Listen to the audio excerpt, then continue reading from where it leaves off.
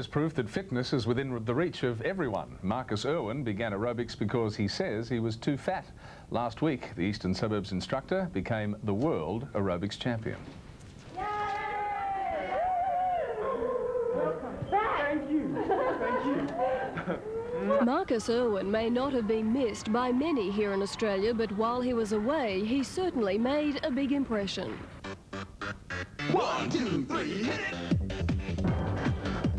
When it comes to aerobics, Marcus is now ranked number one in the world. Last week, against 33 other countries, he took gold for Australia at the World Championships. In April, he outperformed all at the World Cup in Tokyo, the only athlete ever to hold both titles.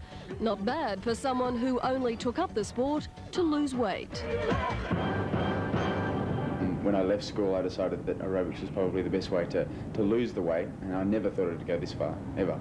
Competitive aerobics is just like gymnastics. Every move controlled, every mistake means points deducted. It was a minute and 48 seconds of sheer pain the whole time I went through it. Because the whole idea of the aerobic competition is to look strong, but also to make it look easy.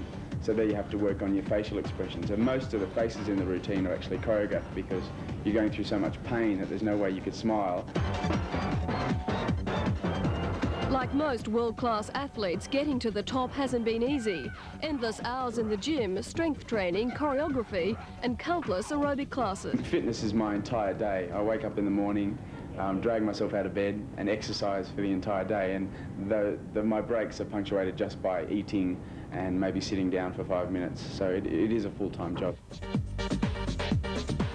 Marcus admits his level of fitness is extreme, but says if he can achieve success, anyone can.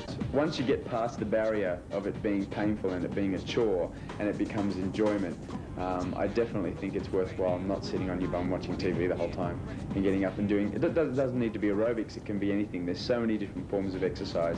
There's no excuse for people to be sitting around. As the new world champ, sitting around is something 23-year-old Marcus is not about to do. Sandra Sully, 10 Eyewitness News. Sheer pain. I knew there was a reason I wasn't doing it. Mike Gibson is back this sport. And some not so